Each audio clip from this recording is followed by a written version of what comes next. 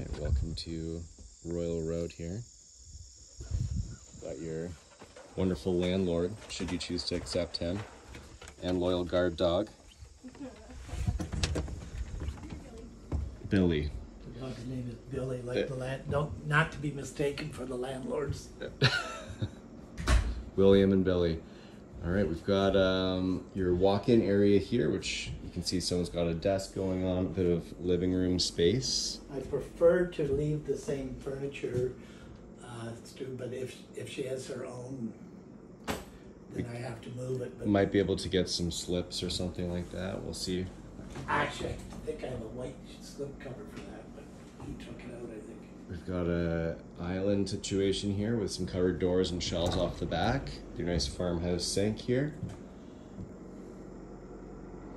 All the uh, wood paneling on the sides, great with some wainscoting. Got a little deck up the side here that is a cistern on the edge.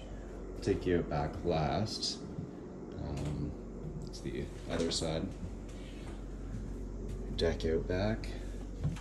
Got your bathroom through here with a tile shower. There's a light in here. I don't think I've seen it on it. Oh, there we go. A little spa experience. Little vanity, toilet. The walls will be painted, I am told. We've a nice upstairs area here for your bedroom. I know you love a good old farmhouse, so here we go. Um, wardrobe will find if that's staying because that is the only closet that I know of. Um, that's just like a little knee wall in an attic with some spray foam insulation. You could store stuff in there, but it wouldn't be for your clothes. Coming down.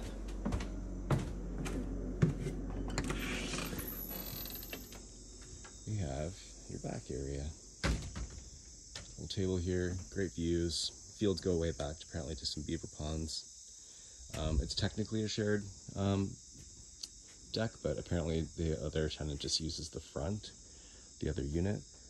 Um, and then here's that little side deck that takes you around the side where you'd be parking. And that's pretty much it. One bedroom apartment, one bathroom. And then Royal Road, where we are, is probably about two minutes away from Lighthall Winery. So if you've been there before, you know where we are. All right, that's it.